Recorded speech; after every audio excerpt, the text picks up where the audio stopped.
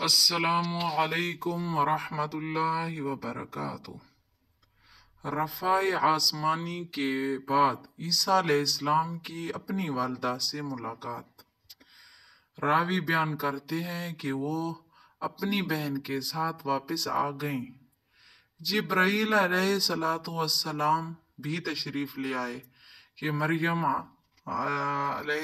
से जंगल में जाने का बताया जब वो दिन आया तो आप वहाँ गईं और वहाँ जंगल में ईसा अलैहिस्सलाम से मुलाकात हुई।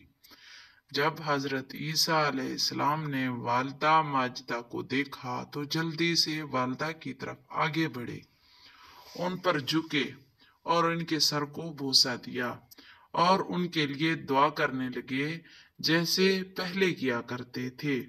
फिर फरमाया कि अम्मी जान लोग मुझे कत्ल नहीं कर सकते, बल्कि अल्लाह रब्बुल इज़्ज़त ने मुझे अपनी तरफ़ उठा लिया है और आपसे मुलाकात की इजाज़त दी है।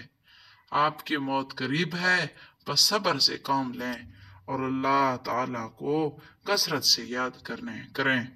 इसके बाद दुनिया में आपकी मुलाकात मरियम अलैहिस्सलाम से नहीं हुई। रावी बयान करते हैं कि हज़रत ईसा अलैहिस्सलाम के आसमान पर